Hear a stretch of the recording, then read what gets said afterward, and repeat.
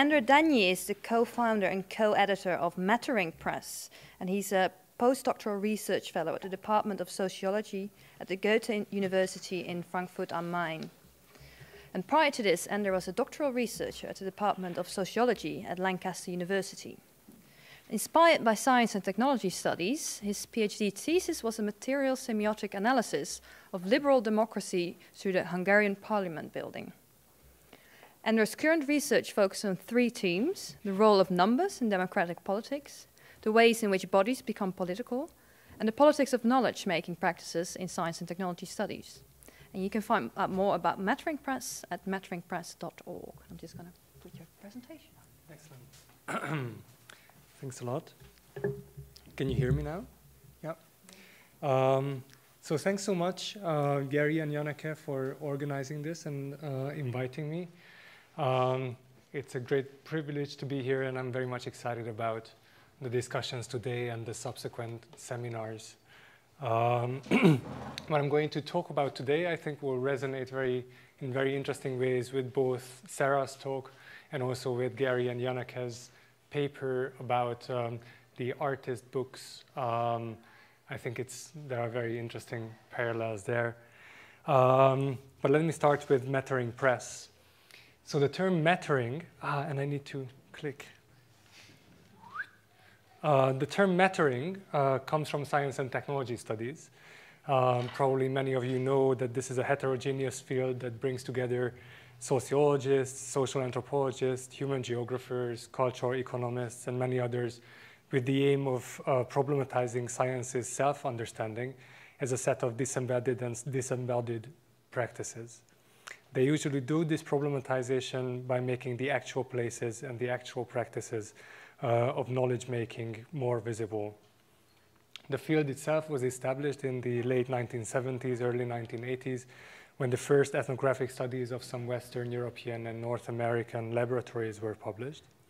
And since then, STS scholars have extended their gaze uh, to various other sites, from hospitals through high-tech innovation centers uh, to stock exchange trading rooms, in order to explore how scientific knowledge is being produced and distributed through, seemingly trivial material practices, and how it can be produced and distributed differently. Ironically, what's largely missing from the list of usual STS sites um, are the institutions that play one of the most important roles in shaping the academic world STS scholars themselves operate in, namely publishers.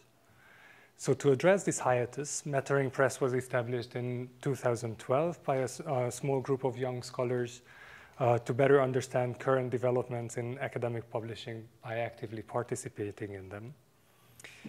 Um, as I said in the beginning, we are an open access publisher. We publish um, peer-reviewed books, or we will publish peer-reviewed books, um, empirically grounded monographs and uh, edited collections of various formats. Hopefully the first uh, publications will come out in the end of this year. Uh, this is a small group of people, and everyone, although we all come from STS, everyone has his or her own interest in this project. Uh, mine is politics. So what I'm going to talk about today is what I call the politics of self-publishing. Uh, in this short presentation, I will articulate what this might mean using the illegal or samizdat publishing uh, in, in the 1970s and 1980s in communist Hungary. First, I will briefly recount the history of samizdat production uh, in Central and Eastern Europe in general and Hungary in particular. And then drawing on the insights of samizdat research, I will identify three dimensions of self-publishing, materiality, experimentation, and the ethics of openness. Uh, and finally, referring to a couple of STS scholars, I will discuss how these three dimensions might be simultaneously captured by the term mattering and how they might be re reflected in our own publishing practices. So this is what I have to offer today. Um, and so first I will start with samizdat histories. The term samizdat was coined by, by, the Russian poet Nikolai Glazkov in the uh, early 1950s, and it means self-publishing. It refers to both to the various processes of pro pro producing texts unauthorized by the state and to the outcomes of those processes, mostly literary and political writings that could not have appeared in official periodicals. In the Soviet Union, until the mid 1950s, samizdat activities were limited to circulating handwritten manuscripts or a few copies of uncensored typescripts among friends and colleagues. It was only a few years after Stalin's death when a wider group of people began to reproduce and pass on uncensored writings, sometimes even without the author's consent. From the late 1950s onwards, some illegally published uh, journal, journals and books, such as less known works of Bulgakov, Pasternak, and Solzhenitsyn, could reach, reach much wider readership, often by getting Western publishing houses involved in the production process. So what you see here is um, the original typescript of uh, Solzhenitsyn's Gulag Archipelago, and um, pay particular attention to the, to the materiality of this object. The relative success of literary samizdat in the Soviet Union was followed by the gradual appearance of more explicit political writings, such as open letters, appeals, even manifestos. Perhaps the most important periodical of this kind was the Chronicle of Current Events, which regularly contained reports on violations of human rights. So here's a, a, a typescript of, uh, of an issue of the Chronicle. According to estimates, the circulation of the Chronicle was between 1,000 and 10,000, with the readership between 10,000 and 100,000. As the number of copies of illegally published texts kept increasing, those who were writing, distributing, or even reading samizdat risked constant, constant harassment by the secret police.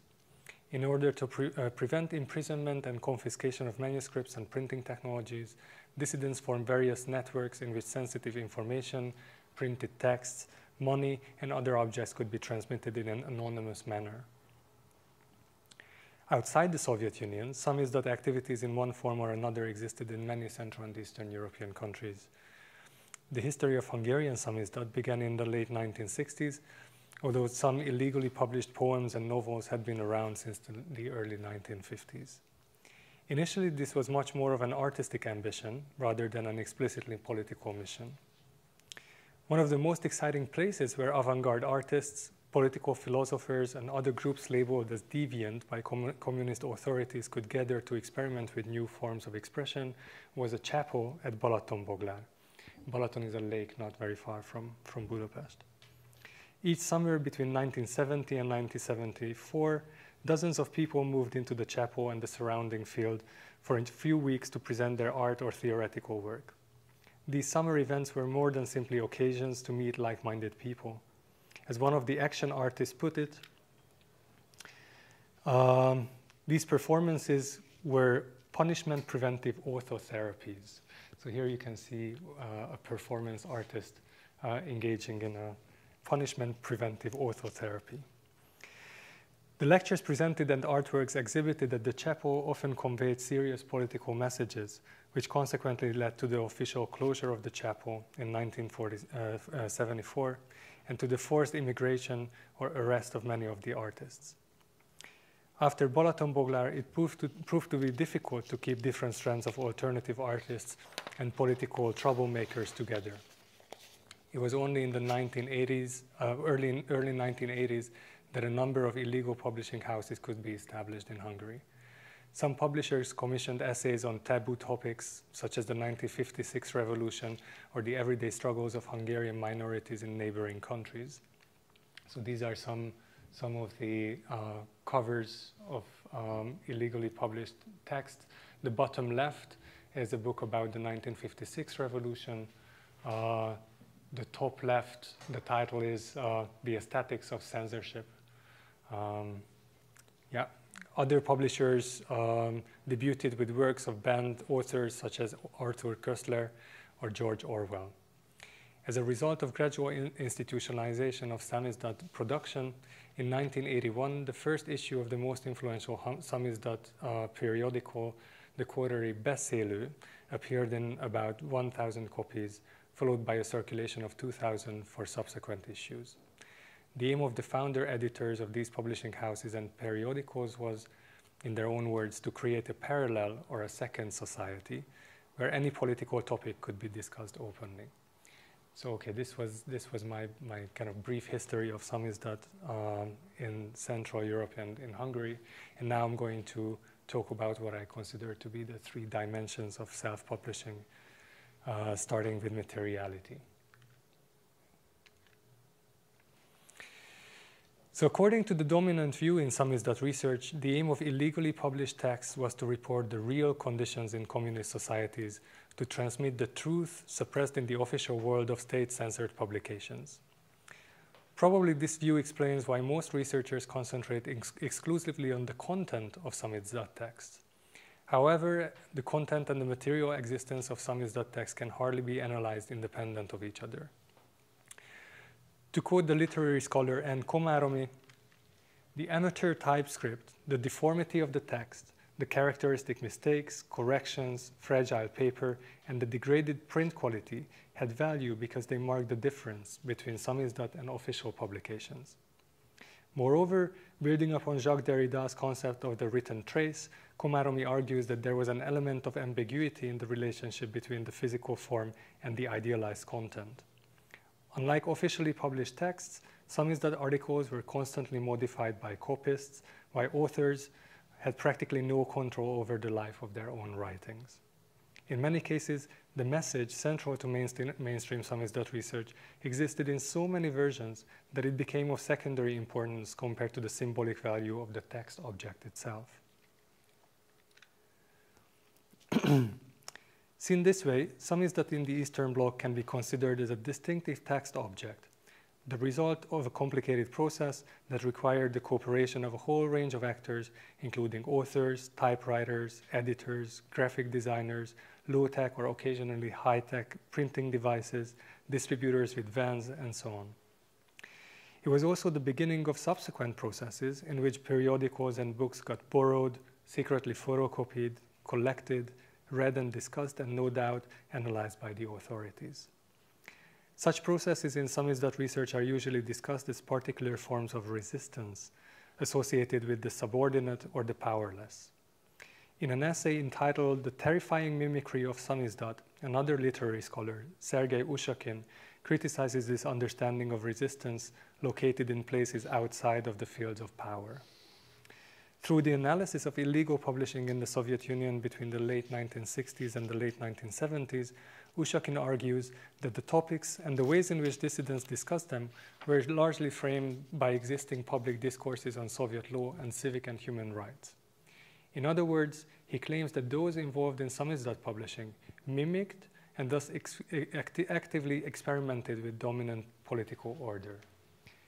So here's a quote from him.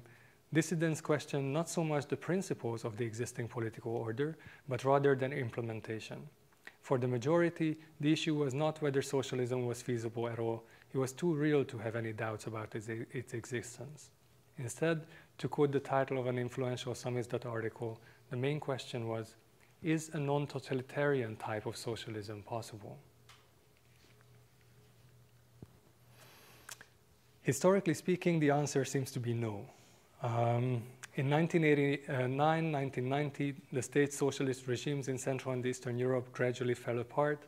The democratic transition made not only the institution of state censorship obsolete, but also the established practices of illegal publishing.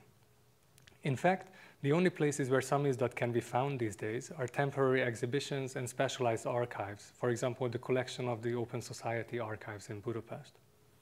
Located in these institutions, the once illegally published texts serve as obligatory passage points for historians interested in the collapse of communism, but are considered to have no relevance whatsoever to contemporary politics. But is this right? Recent uses of samizdat as a term suggest otherwise. According to the jargon file, which is a comprehensive compendium of hacker slang, samizdat originally referred to underground duplication and distribution of banned books in the Soviet Union, now refers by obvious extension to any less than official promulgation of textual material, especially rare, obsolete, or never formally published computer documentation. Samizdat is that is obviously much easier when one has access to high bandwidth networks and high quality laser printers. End of quote. So given this uh, kind of afterlife uh, of, of Samizdat, it's not surprising that there's a collaborative tool uh, called Samizdat that can be used to publish websites. So this is, um, this is an, an application called Samizdat. Samizdat is a generic RDF-based engine for building collaboration and open publishing websites. Samizdat provides users with means to cooperate and coordinate on all kinds of activities, including media activism, resource sharing, education and research, advocacy, and so on. Samizdat intends to promote values of freedom, openness, equality, and cooperation. Samizdat's open and transparent nature and its multilingual cap capabilities make it an excellent solution for international and political projects. End of quote. And finally, you will be very happy to hear that there are a number of open access book publishers that use the term, like Samiz.press and Samiz.express.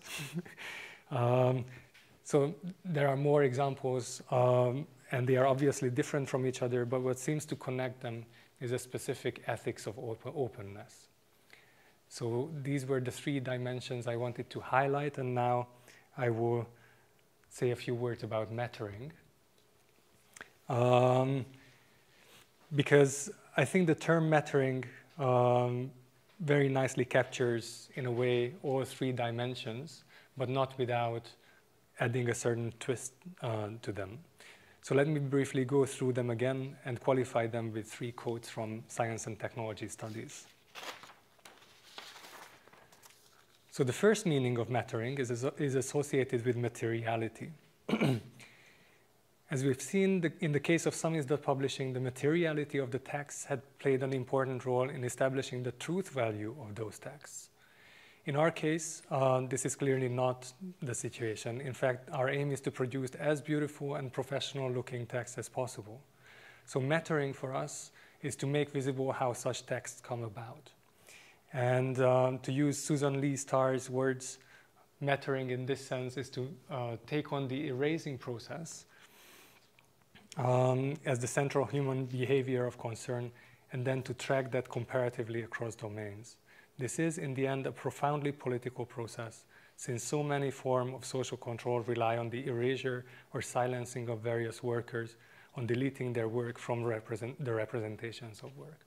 So in very practical terms, um, we place a great emphasis on uh, when we produce books um, to indicate or make visible all the work that goes into the making of it.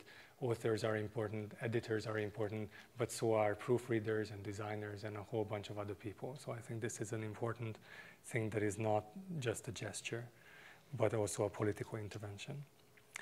The second meaning of mattering has to do with experimentation.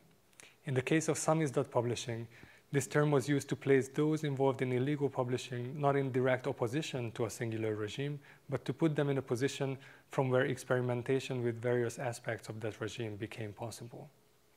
So just as the aim of Samizdat publishing was not to bring down state socialism, mattering is not um, against current forms of commercial or academic publishing as such. It proposes not so much a new definition of truth as a method of experimentation or a construction for new truth. To experiment is to consider theory as a creative practice. This is why it is no longer a question of knowing what is true, but how truth comes about. So this is a quote uh, by William James, uh, quoted by Isabelle Stengers in her book on Whitehead. Sorry, this is just um, having fun. Um, again, in practical terms, we are all for experimentation, um, but we don't think that this is a, um, this is a general uh, scheme. In fact, I think it's very important to figure out what an experiment is or what it's, what it's all, about in a series of dialogues with, with authors. So uh, what, what, what is experimental for them and why is it important um, to do it this way and not, not in others. And finally, the third meeting, me meaning of mattering has an ethical component. In the case of Samizdat publishing, this ethics was and still is defined primarily in terms of openness. However, making things open is only half of the story.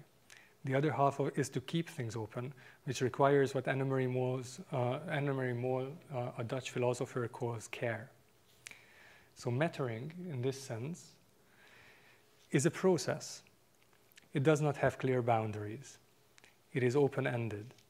This is not a matter of size. It does not mean that a care process is larger, more encompassing than the devices and activities that are part of it. Instead, it is a matter of time. For care is not a small or large product that changes hands, but a matter of various hands working together over time towards a result. Care is not a transaction in which something is ex ex exchanged, a product against a price, but an interaction in which the action goes back and forth in an ongoing process.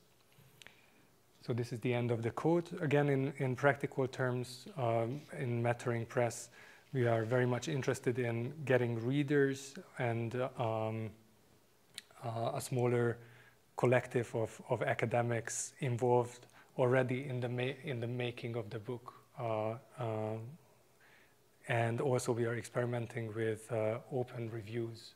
So peer review, but the reviewers uh, are in an ongoing conversation with the authors. Again, I'm, I'm happy to tell you more about this maybe in the discussion. I think I will end here. Thanks a lot.